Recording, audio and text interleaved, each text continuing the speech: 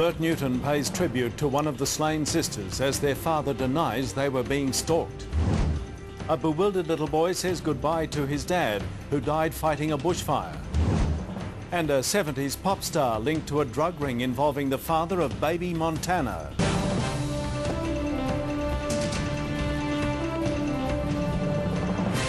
National 9 News with Peter Hitchener.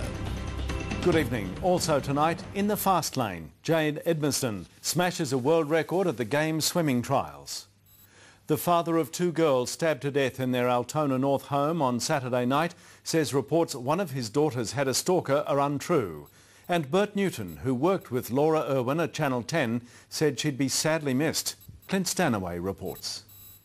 Two sisters taken from family and friends in the most cruel circumstances. And for their distraught father, the pain of losing his only two children is too much. It's amazing you go to bed and the first thing as soon as your eyes are open, you bang, that rotten feeling's there again. And